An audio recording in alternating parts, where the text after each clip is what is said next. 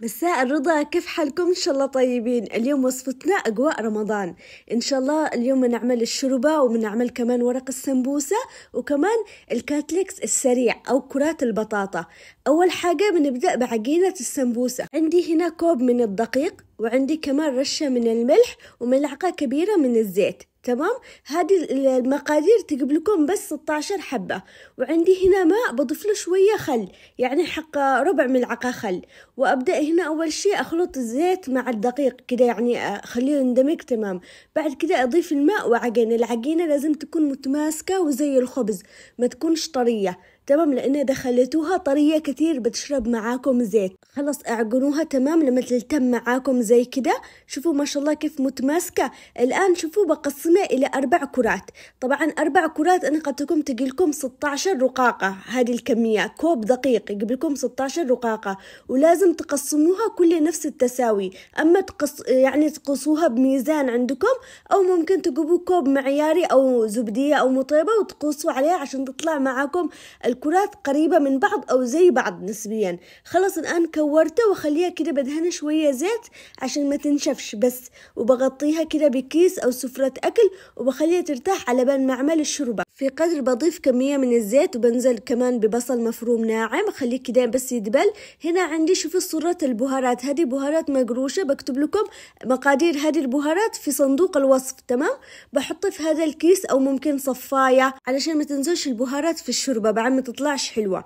الآن شوفوا بضيف اللحم. تقدروا تستخدموا أي نوع لحم. أنا استخدمت لحم عقل. وبضيف كمان ثلاثة فصوص من الثوم.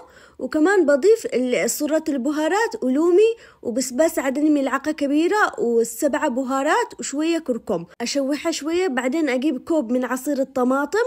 وهنا ضفت بهارات بدوية. هذا اختياري إذا متوفر.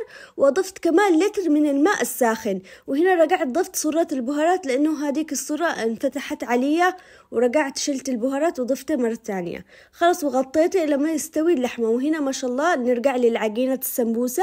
هنا عندي بالمرش في عندي طبعا نص كوب دقيق ونص كوب نشا. أو أني أفضل أنكم تعملوا نص كوب دقيق وكمان ربع كوب نشا. النشا أقل. تمام؟ قللوا النشا لا تخلوش نص بنص. إذا حابين نص بنص زي ما تحبوا. الآن ببدأ أفرد كل وحدة كده بشكل بحجم السيسر نحن نقول بعدين الصحن الصغير أو صحن الحلا اللي يتقدم فيه الحلا نحن نسميه في عدن سيسر بحجم السيسر كده فردتهم كلهم بالتساوي. الآن برش بين كل طبقة بدهنها بزيت وببدأ أضيف المرش هذا اللي فيه دقيق ونشأ. برش عليها وأحط الطبقة الثانية. وكمان أضيف كمان أدهنها بزيت وأرش عليها من خليط الدقيق والنشا وأحط الطبقة الثانية. وزي كده آخر طبقة بضيفة كمان بضيف زيت وبضيف كمان اللي هو الدقيق والنشا خلاص. بعدين ما بضيفش حاجة خلاص الوجه ما ترشولوش أي شيء خلاص. كمان شوفوا كيف حاولوا تعدلوها شوفوا كيف أعدل. إذا يعني لازم أطبقها تمام مع بعض وشوفوا كيف أضغط عليها مش من الطرف قبل الطرف بشوية. لاحظتوا إني أضغط عليها؟ من قبل الطرف بشوية عشان لما تجوا تفردوها ما تسحبش معاكم. فهمتوا علي؟ لازم تضغطوها من قبل الطرف. بعد كده ابدأوا افردوها. تقدروا تخلوها ترتاح شوية بس إذا خليتوها كتير ترتاح بتلعب بعدين خاص بتتشاطل معاكم. يعني بتكون مش متساوية بتحاول بتخرج الطبقات. حاولوا إنه تفردوها على طول ورا يعني تخلوها شوية وتفردوها حاولوا إنه تكون فردتكم بشكل مستطيل أو مربعة عشان يسهل بعدين عليكم إنكم تقطعوها. كمان السماكة لا تخلوهاش كتير رفيعة. بعد ما بتتفككش عليكم الطبقات. ولا بيطلع الطبقات خفيفة جدا. فالسماكة خلوها شوية يعني مش كتير رفيعة العجينة. خلاص الآن شوفوا ما شاء الله قعت لي مربعة الآن سخنت الصاج وبوطي النار أوطى حاجة وصاج ساخن. وبجلس أقلبه كل شوية أقلبه. أعد للعشرة وأقلب. بس أشمعه. أنتم عارفين بس كده تتشمع كده تت يعني تنتفخ. انتبهوا تتحمر معاكم ولا بتقع يابسة. طبعا أول ما. أول ما تطلعوها طلعوها يكون معاكم منشفة بلوها بالماء وعصروها. أول ما تخرجوها من من الصاج على طول داخل المنشفة. بس للأسف إنه أني المقطع انحذف معايا وأني أحطه بالمنشفة وأفكفك الرقاق. عشان ما تنشفش معاكم أبدا الرقاق السمبوسة. وهنا خلونا إحنا الآن نشوف الشوربة طبعا اللحمة ما شاء الله استوت ما أخذتش مني وقت. وكمان طلعت سرة البهارات. خلاص أني أخذت من النكهات. والآن ببدأ أضيف الملح. وبضيف كمان الشوفان. اليوم شربتنا شوربة الشوفان. أني أعملها بحب القريش مع الفريك أخلط بس اليوم قررت أني أعمل لكم إياها بالشوفان لأنه كتير طلبتوها مني. خلاص وخليها تتسبك من 15 إلى 10 دقائق غطيت عليها. هنا عندي بطاطا مسلوقة. إيش بسوي؟ عندي هنا شوية زيت وببدأ أدبل البصل أخليه يدبل فقط وبضيف البطاطا بعد ما كسرته. بس كسرته ما أني ما هرستش البطاطا. تمام؟ بس كسرته بعد ما سلقته كده بس قطعته بالسكين كده وخلاص. وابدأ أقلبه مع البصل. وتعرفوا حق جوع الصيام وكده إيش قلت؟ خليني أضيف له فلفل البسباس الحامي. وكمان قلت يا هدى لا مش بس بسباس حامي ضيفي له كمان رشة من كاري النيل. وكمان ذكرت إني ما عملت ليش الملح ورجعت عملت له الملح. بعدين قلت يا هدى ليش ما تعمليش من بهارات الكشي حق العشار؟ هذه بهارات من عند الكشي. يعني طلعت أقول لكم إيش الطعم كان رهيب. وبس أنا كذا قلبته وهي بس تنهرس. يعني ترجع شوفوا كيف تنخلط مع بعض. بس يكون فيها زي القطع. الآن تعالوا نعمل السمبوسة. طبعا نحن نقول نسمبس. أنا حشيته جبنة مالحة وأنتم تحشوها زي ما تحبوا. إذا أنتم حابين حشوة اللحمة المفرومة أو حشوة دجاج مفروم موجودة في القناة كمان.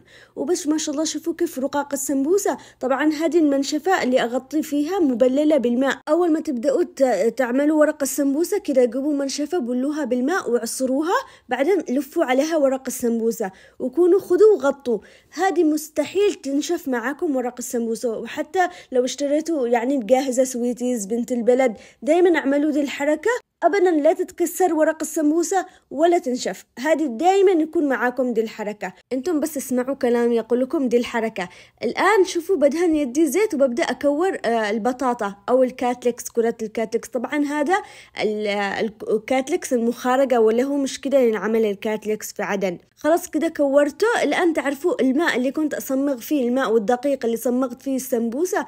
ضفت له زيادة ماء شوية خففته وبدأت أغمس كرات البطاطا وأحطها بالبقسماط أو أو الروتي المطحون اللي معاكم. وهذه الطريقة بديلة عن البيض لأنه كثير طلبتوا مني إنه تشتوا كاتلكس أو كرات بطاطا من غير بيض. وأني دايما أعملها كذا مخارجة وسهلة وسريعة.